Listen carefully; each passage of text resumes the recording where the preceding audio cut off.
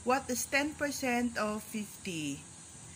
I will show you mga palalabs the two possible ways on how to get the answer.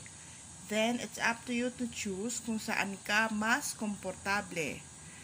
Yan, ganun. Number one, we have to, this, 50, and then we have to convert this 10%. To convert a percentage to a decimal, divide by 100. Or, just move two places from right to left. Point 1 times 0, 5, 1, 5. Number 2, 1 times 5 equals 5. Yan yan siya.